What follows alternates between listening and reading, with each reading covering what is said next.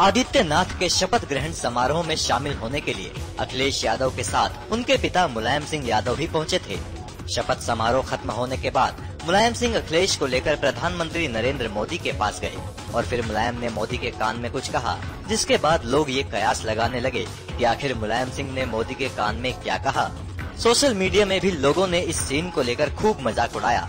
किसी ने तो ये तक कह दिया कि अभी ये पता नहीं चला है कि कटप्पा ने बाहुबली को क्यों मारा और एक नया रहस्य आ गया कि आखिर मुलायम सिंह ने मोदी के कान में क्या कहा। लेकिन अब इस रहस्य से पर्दा हट गया है।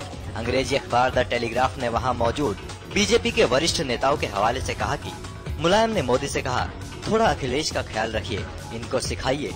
गौरतलब है कि मुलायम ने मोदी के कान में क्या कहा, इस पर 19 मार्च से सोशल मीडिया पर खूब मज़ाक भी हो रहे थे।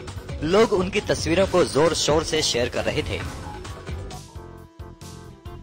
यूपी के नए सीएम योगी आदित्यनाथ के शपथ ग्रहण समारोह में जब मुलायम ने मोदी के कान में फुसफुसा कर कुछ कहा तो हर कोई ये सोचने लगा कि आखिर मुलायम सिंह यादव ने क्या बात कही होगी। मोदी के कान में फुसफुसा कर बोलते ये तस्वीर देखते ही देखते सोशल मीडिया पर ट्रेंड करने लगी और ट्विटर यूज़र्स ने इस पर जमकर मज़े लिए। चलिए आपको दिखाते हैं कुछ मज़ेदार ट्वीट्स। योगी फ़ैन राज ने लिखा, मुलायम मोदी के कान में कह रहे हैं कि भाई गजब का सुनामी ला दिए। मैं बहुत खुश हूँ क्योंकि अखिलेश ठंडा हो गया। शुक्रिया। सतीश कुमार ने तस्वीर पर चुटकी लेते हुए कहा, मुलायम मोदी से कह रहे हैं कि अखिलेश ने बहुत घोटाले किए हैं। उसका ध्यान रखना आखिर बेटा है मेरा।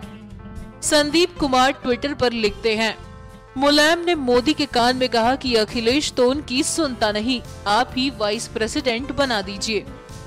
एक और ट्विटर यूज़र ने मुलायम और अखिलेश पर तंज कसा और लिखा, मुलायम सिंह यादव, अखिलेश यादव को पकड़कर मोदी जी के पास लाए और कहा, इसको भी कहीं सेटल कर दो।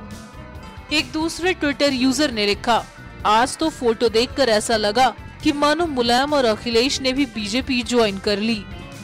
जहाँ कुछ ट्विटर यूज़र ये गेस कर रहे हैं कि मुलायम ने क्या कहा होगा।